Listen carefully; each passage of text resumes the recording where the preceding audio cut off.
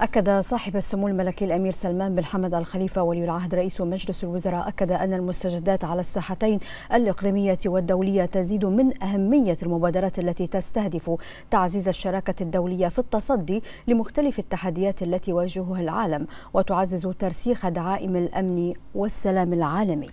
جاء ذلك لدى لقاء سموه بقصر الإقضيبية اليوم بحضور سمو الشيخ محمد بن سلمان بن حمد الخليفة وسعادة السيد حمد بن فيصل المالكي وزير شؤون مجلس الوزراء الفريق الركن متقاعد السير توماس بيكيت بمناسبة انتهاء فترة عمله كمدير تنفيذي للمعهد الدولي للدراسات الاستراتيجية في الشرق الأوسط.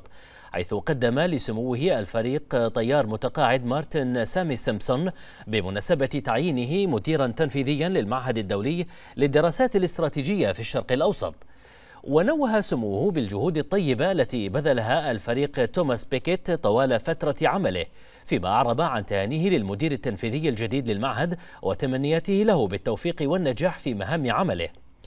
وأشار سموه إلى التعاون القائم بين مملكة البحرين والمعهد الدولي للدراسات الاستراتيجية وما تحقق من نجاحات متواصلة بما فيها التنظيم والإعداد لمنتدى حوار المنامة على مدى 19 عاماً والذي بات اليوم واحدا من أهم المنتديات الإقليمية والدولية الذي حقق سمعة طيبة على المستوى الدولي.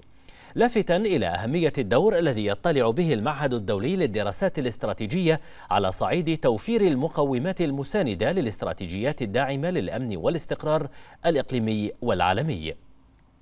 من جانبهم أعرب كل من الفريق الركن متقاعد السير توماس بيكيت والفريق طيار متقاعد مارتن سامي سيمسون عن شكرهما وتقديرهما لصاحب السمو الملكي ولي العهد رئيس مجلس الوزراء على ما يليه سموه من اهتمام بتعزيز التعاون بين مملكة البحرين والمعهد الدولي للدراسات الاستراتيجية ودعمه المستمر لمنتدى حوار المنامة منذ انطلاقته.